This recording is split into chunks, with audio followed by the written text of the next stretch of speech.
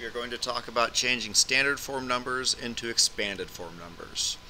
Right now I have 4,236 and I'm going to take that standard form and I'm going to expand it.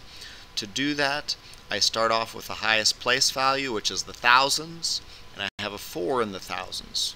So that 4 in the thousands place is worth 4,000 and I will add it to the value of the next digit.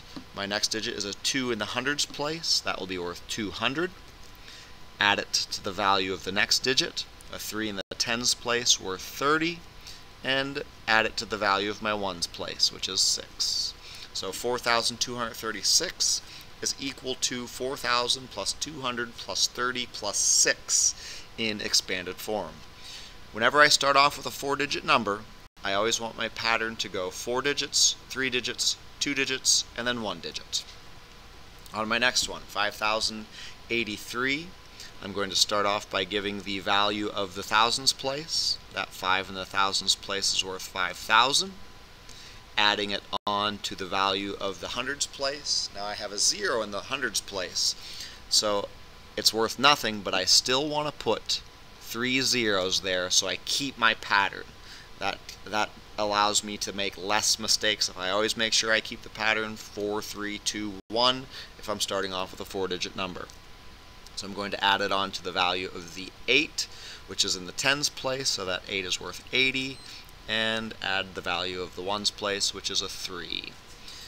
And next one 3004 I start off with the largest place value which is thousands place. I have a 3 in the thousands place so that 3 is worth 3,000. And now I have two zeros in a row. So I still want to keep my pattern. I still want to um, keep my 4, 3, 2, 1 pattern. So this 0 in the hundreds place is worth 3 zeros. This 0 in the tens place is worth 2 zeros. And the 4 in the ones place is worth 1. Now, if you really wanted to, you could do 3,000 plus 4 and that would be the correct answer.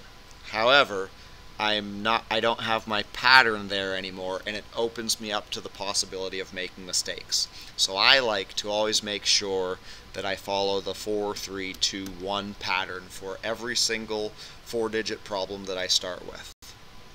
9050 the 9 in the thousands place is worth 9000 plus no hundreds so that's worth three zeros, four, three.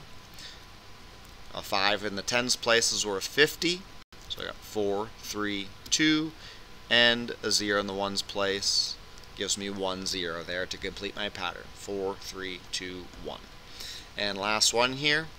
Now, I could, if I wanted to, I could just say 3,000 equals the value of the 3 in the thousands place, which is 3,000. But like I said, I still like to make sure that I show my pattern plus 0, 0, 0, plus 0, 0, plus 0. So I still have my 4 digits, 3 digits, 2 digits, 1 digit pattern.